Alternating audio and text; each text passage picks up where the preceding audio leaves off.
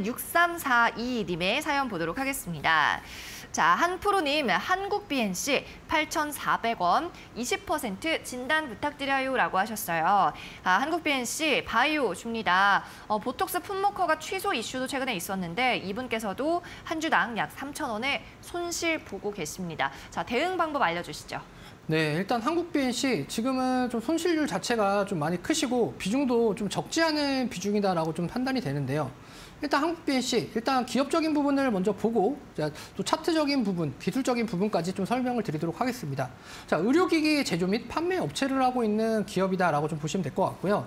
자, 한국 BNC 같은 경우에는 일단 지금 계속해서 지속적인 하락 이후에 조금은 반등에 대한 연출이 좀 나왔으나 그 이후에 다시 조금은 눌림목에 대한 부분이 또 나타나고 그다음에 조금 지지부진한 흐름을 좀 이어가고 있는 상황이다라고 일단은 볼 수 있을 것 같고요.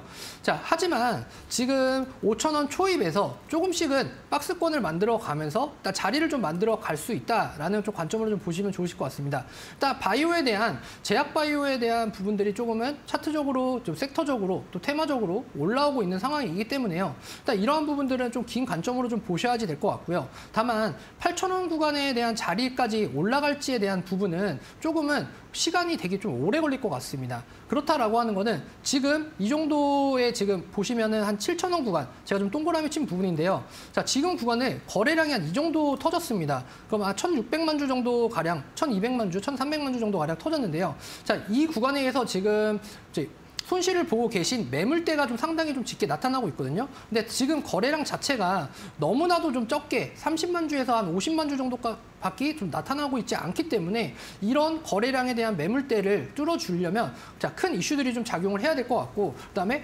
호가적으로 호가적으로나 이런 적으로나 보게 된다라고 하면 지금 호가가 좀 상당히 좀 두텁지는 못하게 좀 나타나고 있습니다. 자 그렇기 때문에 지금 7천 원 구간을 돌파에 대한 여력이 사실은 조금은 힘에 좀 붙인다라고 좀 볼 수가 있을 것 같아요. 그러면 지금 가격대에서 내가 매수가를 찾아가기보다는 사실은 6,500원에서 7,000원 구간 정도를 노려봄직함이 좀 바람직할 것 같습니다. 그래서 손실에 대한 폭을 좀 6,500원에서 7,000원 구간까지 좀 줄여가시고 그 구간 안에서 좀 손절이라던가 종목에 대한 변경을 하시는 것들이 좀 좋아 보입니다. 그렇게 좀 판단을 해드리도록 하겠습니다.